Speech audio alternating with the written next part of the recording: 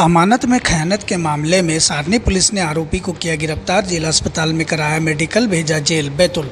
मामला सारनी थाना क्षेत्र के एसबीआई रोड का है, जहाँ पर 24 तारीख को आरोपी युवक ने खुद जिस रस्ते हुए, अपने साथ हुई लूट की घटना की शिकायत सारनी थाने में की थी।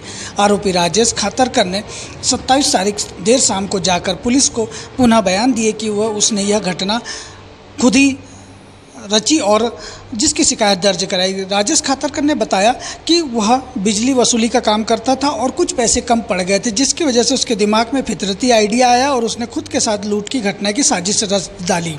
बाद में पुलिस के भय से खुद ही जुर्म कबूलते हुए उसने सारी घटना का विवरण पुलिस को बताया जिसके बाद सारनी थाने में आरोपी युवक राजेश खातरकर के खिलाफ 407 408 के तहत मामला पंजीबद्ध किया गया। इसके पहले राजेश खातरकर की रिपोर्ट पर चार के तहत मामला पंजीबद्ध किया गया था। आरोपी को जिला अस्पताल लाया गया।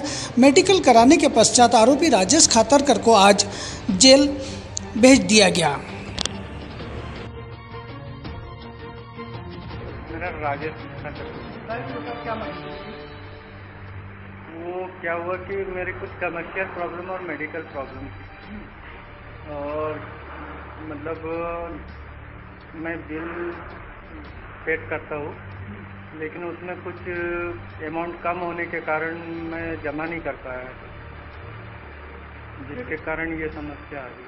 क्या क्या किया फिर? आप पूरा पेड नहीं करता तो उधर मुझे चारों तरफ़ से सुनना ही पड़ता क्यों नहीं हुआ? तो सारी चीज़ें पूछते मुझसे इस वजह से मैंने थाने में जाके बता दिया। क्या बताया? कि मेरे साथ धोखाधड़ी हो गई।